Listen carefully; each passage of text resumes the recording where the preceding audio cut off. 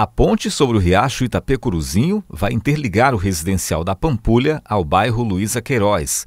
A estrutura tem 9 metros de largura, 14 de comprimento e travessias laterais para pedestres. A estrutura física da ponte já está praticamente concluída, só que a travessia não pode ser feita nem por pessoas nem por veículos. É que a diferença entre o nível da rua, onde eu estou agora, e o nível da ponte é muito grande praticamente 2 metros de altura. Esta foto de novembro de 2017 mostra a placa que foi instalada no local e que hoje não existe mais.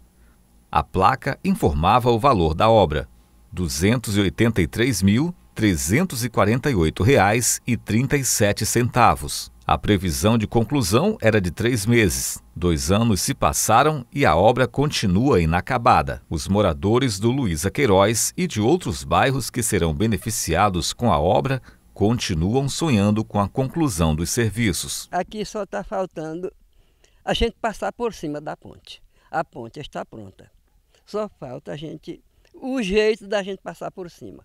E o jeito de passar por cima, quem dá é os homens é tapar as duas cabeceiras e aterrar para que a gente diga assim, agora nós temos uma Luísa Queiroz do nosso sonho. Sempre quando eles estavam trabalhando aí, eles diziam, chegavam assim e diziam, tal, temos que entregar esse negócio. Mas nunca essa realidade chegou, sempre atrasava, né? E está desse jeito aí. A vontade de vocês é que conclua logo o serviço. Isso, para ser realizado, né?